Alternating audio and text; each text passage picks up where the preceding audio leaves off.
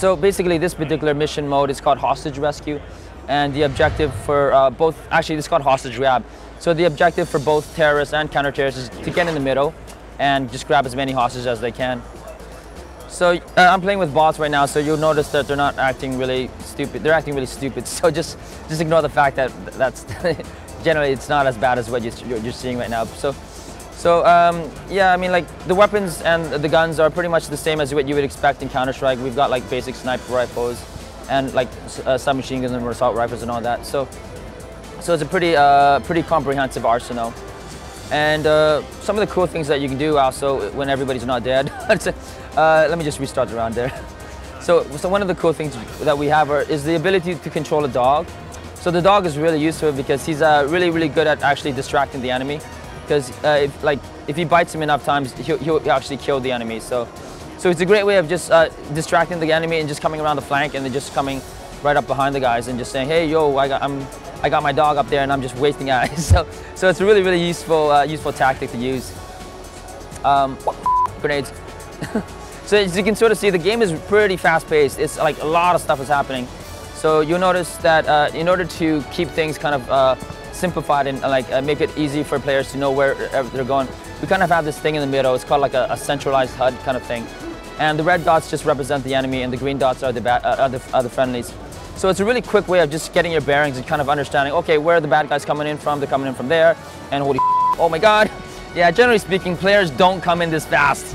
These, these bots are really aggressive, so it's just, but uh, you can sort of see the intense uh, firefights that we have in the game. Our, our levels are pretty, uh, pretty close quarters, and that kind of, uh, kind of, kind of uh, makes, makes the firefights really, really fast paced. So the hostages in this particular mode, I'm, I'm a terrorist, and I'm just I'm trying to prevent the counter-terrorists from coming in and rescue them. And one of the things that I can do is I can actually grab them and actually I can actually kick them into a corner.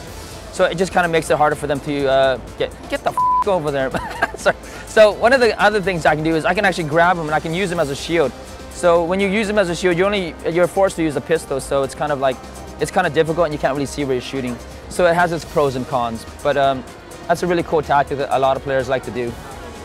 Um, so aside from using hostages or grabbing hostages, we've got a lot of cool props in the game. Like we've got like fire extinguishers, and these are pretty useful because throughout our game we have like uh, the ability to set off fires. So I can like set a fire there, and like as they come in, they're gonna catch fire. Oh, come on, takes them long enough.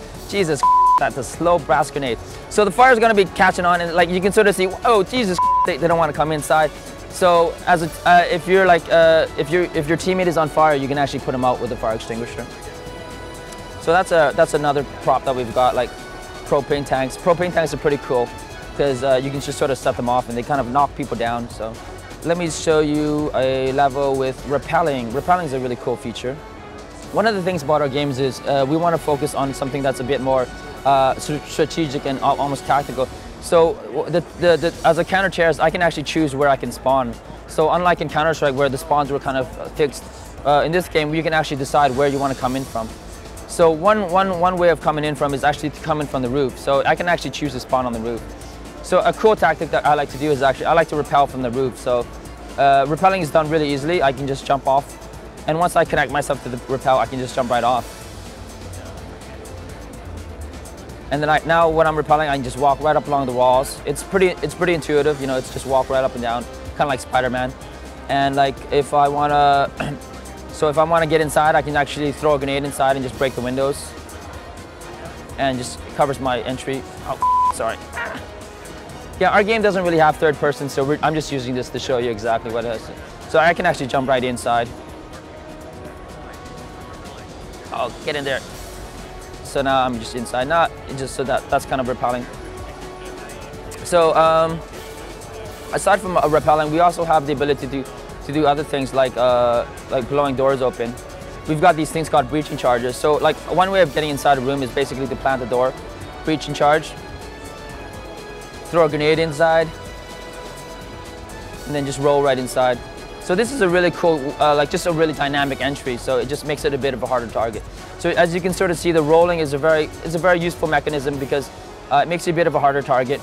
But uh, obviously, when you're rolling, you can't shoot, so it's kind of a defensive thing. And I don't know, a lot of people have said the rolling kind of makes them want to want to vomit. I don't know. I've gotten kind of used to it, so I don't know. I don't know about you guys, but uh, anyways. Uh, so aside from the rolling, we got like the, the obligatory leaning kind of thing. Uh, another cool thing is you can actually do a blind fire. So if you're behind certain obstacles and you don't want to like expose your entire body, like you can just do a blind fire. So they can still hit your hand, but you know it makes you a bit of a harder target. So the, the problem with blind fire is you don't really have a crosshair and your and your accuracy is really bad. So it just kind of jumps all over the place. You know? So um, that's that level. Uh, now I'd like to show you a level involving cars. So this level is a pretty fun level. Actually, it's one of the most popular levels during our test. So as a counter-terrorist, my job is basically to escort the VIP who's in that car, and I'm supposed to just drive him along to the to a, a, a, a destination. And when he gets there, he's gonna get out, and and basically that's when that's how we win the round. So as a terrorist, my objective is basically to go after that VIP.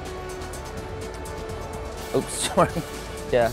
Basically, I'm just supposed to assassinate the VIP and just basically, he's gonna drop a suitcase and then when he drops a suitcase, I can actually just take that suitcase and let me just give myself an RPG-7. So this level's got a lot of cool explosives, like for example, the RPG-7. Oh man, that's one tough car. Must be an American. Okay, so now the, the VIP gets out of the car and now I can actually kill him. He's pretty tough. Yeah, his, uh, we give him a bit more health than normal because uh, we found that he was dying much too quick. So he drops the suitcase and you can take it and a helicopter's gonna come flying by and I can just take it to the helicopter. Come on down, buddy. Yeah. Oh, no! No, wrong one. yeah, we gotta fix that. Uh, so now he gets in the helicopter and that's how the stairs win. So this is a really crazy map with actual players because it's really dynamic and a lot of things can happen. Like players are getting inside of the car, outside of the car. So as a passenger, you can actually lean outside of the car. So that, that kind of gives you a nice, a nice ability to actually see because when you're not leaning, you're kind of restricted in the rotation. So if you want to lean outside, you can actually like rotate fully in. But obviously it makes you a much bigger target, so.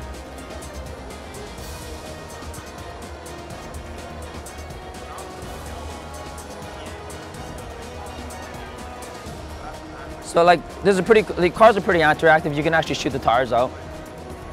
Man, that's one tough tire. so anyways, when you shoot the tires out, the cars kind of behave differently. They don't accelerate as fun. But if you want, you can actually replace the tires. Oh, Jesus, no. I gotta go back. God. Ah, sorry. If you go up to the trunk and use the trunk, you can actually pull out a tire and then just do an automatic repair. So that's kind of fun. It's kind of funny. So uh, yeah, those kind of things. And like you, you'll notice there's a lot of NPC cars, like just like civilians kind of running around. You can actually hijack those cars. So it's kind of like GTA mixed with like uh, Counter-Strike, you know. Uh, we're gonna be going into uh, beta in a couple weeks now. Sometime, I think it's probably mid-March. Uh, the beta is gonna last for about a month, I think. And after that, we're gonna be doing an open beta. Uh, that's gonna be another month. So I think all in all, we're gonna be having this game out sometime in the summertime. probably maybe June or July, I think.